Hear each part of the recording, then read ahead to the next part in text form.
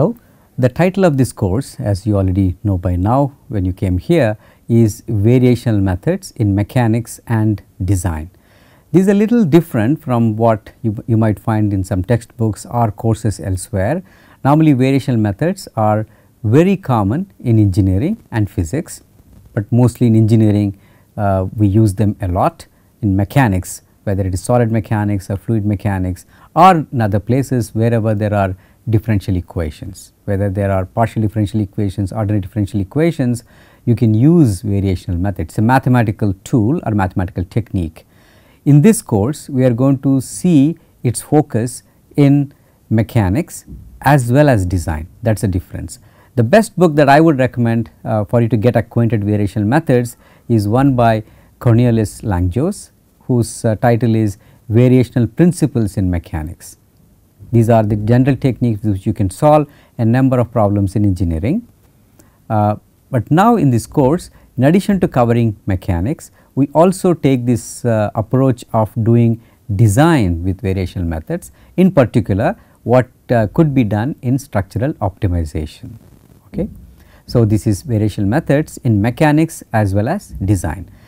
The crucial mathematical tool that you need to apply variational methods is calculus of variations. Calculus of variations is different from normal calculus that uh, you first got exposed in your plus 1 and plus 2 and, and uh, gotten a big start in your uh, professional curriculum either in BSc or uh, engineering. You learn normal calculus in one variable, several variables are what we call multivariable calculus. Calculus of variations is different from that. Here you deal with functions that are unknowns. That means that in normal calculus if you want to minimize a function you would simply have a function of several variables and you want to minimize respect to those variables which we call finite variable optimization where a calculus of variations the unknown is the function itself the continuous function. As a result when you use variational methods you get what are called functionals and from functionals you get differential equations.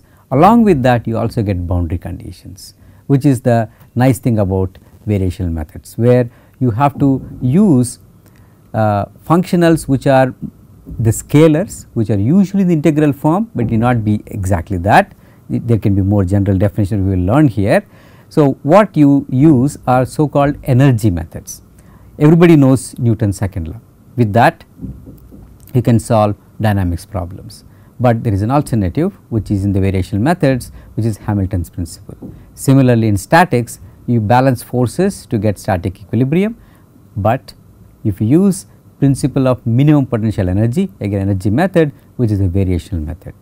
Okay. So, we can have firm basis in physics in terms of energy based principles in order to derive differential equations as well as the boundary conditions. That is why we actually sometimes when you are just given a differential equation okay, as a starting point you can still use variational methods even if there is no physical basis for it by going backwards. If you go through the course you will understand what I mean by backwards to arrive at the physical principle or on the way midway I would say we also get what is called the weak form. That weak form is what people refer to as variational method. There is something called a variation which is a little perturbation of the function. You have a differential equation, you want to find a solution, but in order to find a solution you perturb that a little bit like we will perturb the string of a musical instrument that is a variation that gives you this variational method. It is a very powerful tool you can use it in most fields in engineering and physics and chemistry as well, but our focus will be on engineering with mechanics as well as design. By that I mean structural optimization. How do you design a, a structure, a bridge, a building or a simple bracket that will be there in a machine?